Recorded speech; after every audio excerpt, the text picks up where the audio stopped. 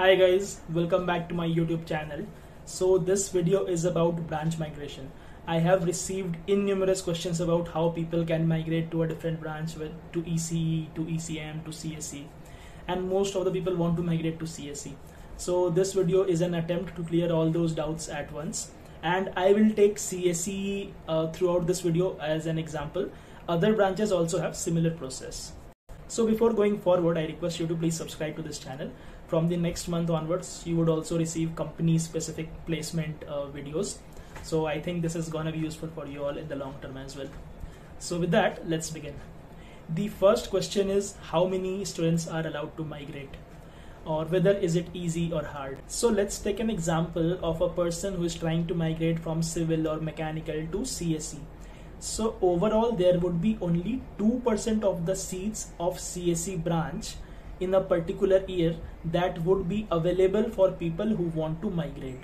For example, let's take an example of my, uh, my batch itself. So in CSE there were 350 students and 2% of 350 is 7 so only 7 students combinedly from all the branches civil mechanical ec triple e were allowed to migrate to cse so i hope you can understand from this fact itself how hard it is to migrate.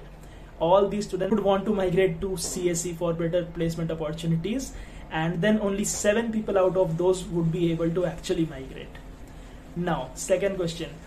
How can you migrate? What is the process? So first of all, in the first semester, you only have to focus on the subjects of your branch.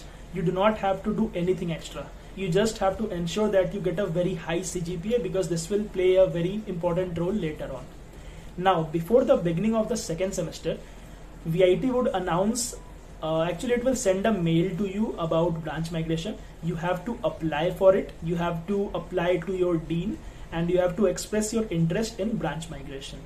After that you would be given two subjects. You have to take those two subjects and study them in the second semester and those two subjects will be related to the branch you want to migrate to. So let's say you're from mechanical you have to study two subjects extra of CSE because you want to migrate to CSE now what happens at the end of first year?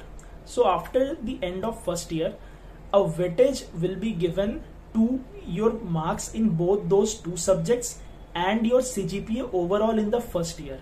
So the weightage was something like 40% to the two subjects that you studied, the two extra subjects, and 60% to your overall CGPA in the first year. And combinedly, a score will be created. So whoever applied for branch migration, this score will be created for all of them, and only the top seven students will be able to migrate. Now, what happens to those who are not able to migrate? what about the subjects they studied extra so nothing uh, really happens bad to them those two subjects that you study extra are definitely not related to your degree but you can get them counted as university electives so those will be actually counted for your degree now my verdict whether you should go for branch migration or not so i think it is a risk worth taking if you really are interested in making your career in the it field because CSE definitely has more opportunities. CSE or IT has more opportunities than any other branch in VIT.